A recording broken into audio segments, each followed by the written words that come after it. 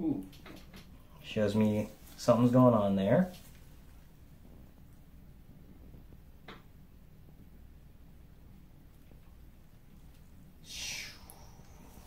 You feel the problem, right? I feel a lot. you know, and that's the thing. If if I inject your shoulder, your arm, you go, ah, it's a little annoying. But when you got a real injury, it Feels like it's cramping. yeah, you're gonna relax. You tell your mom she trained you well to tolerate this. Good. That's it.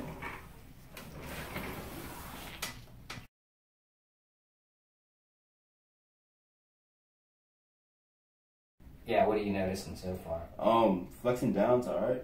Going up, it just feels like I caught a nasty cramp earlier today Okay. or something like that. Yeah. It's just like, especially up here, it Yeah. just feels a little stuck. That's typical. But, But yeah, that's all I'm really feeling right now is that, that one up there. Lower, uh, down the actual Achilles, I don't feel much of anything at all. Okay, good. That's a good that start. one- yeah, that one up here.